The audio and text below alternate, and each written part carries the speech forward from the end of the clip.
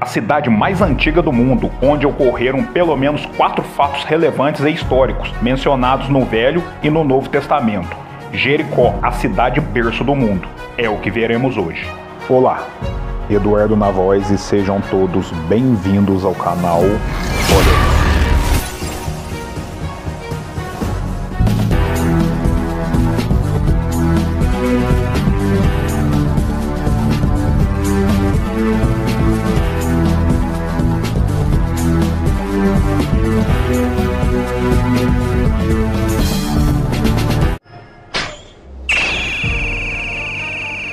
Jericó é uma cidade palestina situada na Cisjordânia, a alguns quilômetros do Rio Jordão, rio este onde Jesus Cristo foi batizado com seus 30 anos de idade.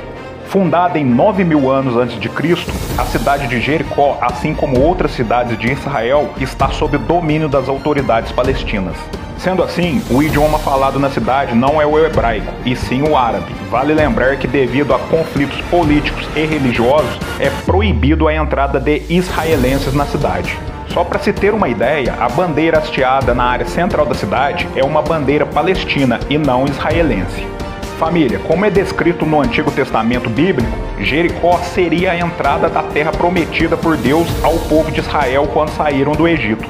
Lá, Moisés teria perecido no Monte Nebo, assumindo seu lugar Josué, que entrou, montou acampamento em Gilgal e depois conquistou finalmente Jericó, após longos 40 anos no deserto. Não entrando no mérito da questão, mas como eu havia mencionado, fora este fato histórico da Terra Prometida, em Jericó ocorreram pelo menos mais três fatos relevantes que podemos destacar com relação a Jesus e a acontecimentos históricos bíblicos. O chamado Monte da Tentação é um deles, onde Jesus teria sido tentado por Satanás após batizar-se e entrar em jejum por 40 dias. Nesse monte foi construído no século XV o Mosteiro da Quarentena para simbolizar esses 40 dias de Jesus no deserto. Outro fato relevante foi o da passagem de Jesus pela cidade, onde Zaqueu, um cobrador de impostos odiado por todos naquele tempo, diga-se de passagem, subiu no topo de uma figueira ou plátano para ver Jesus em meio à multidão.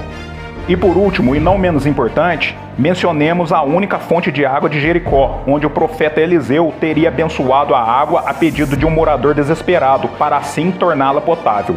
Família, só lembrando que Eliseu foi o profeta que teria substituído o profeta Elias após este ser arrebatado por Deus. Olha isso. Enfim, segundo o censo de 2006, a cidade possui 20.300 habitantes. Eu creio que sejam muito mais, já que se passaram 17 anos e estamos em 2023.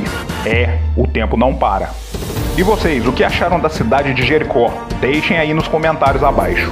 Família, então é isso. Aqui rola vídeo toda semana voadora no like, deem aquela detonada na inscrição para ajudar no crescimento do canal. Valeu, é nóis e fui!